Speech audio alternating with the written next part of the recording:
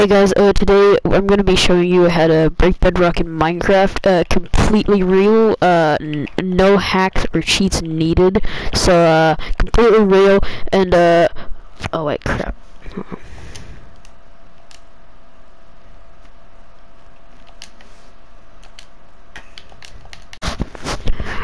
Alright guys, so I just made it down to bedrock in my, uh, survival world, and, um, so, uh, you can do this with any type of pickaxe. So right here I've got a wooden one, uh, but as long as it has silk touch on it, you have to have silk touch for, for, it, okay?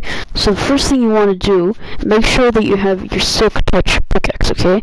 But now what you want to do is you're going to look around and see how all these bits of bedrock are the highest up. So you want to look for one piece of bedrock that's three below it. So here we got one, one, two, three. Alright guys, we got one. Alright.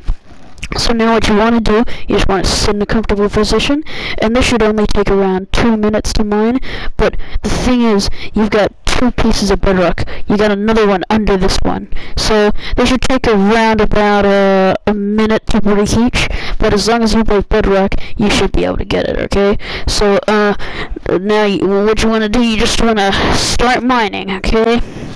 So just sit in back and relax.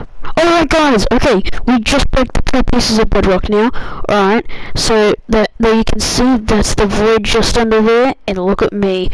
Alright, so all thanks to this lovely pickaxe right here, and um, so yeah, uh, Alright. Uh, sadly, you do not get the bedrock from it. That would be a bit overpowered, though. But then again, breaking bedrock is pretty overpowered. You can use this in the nether as well. So, uh, thanks for watching the video, guys. I hope you found this helpful. And, uh, I'll see you in the next one.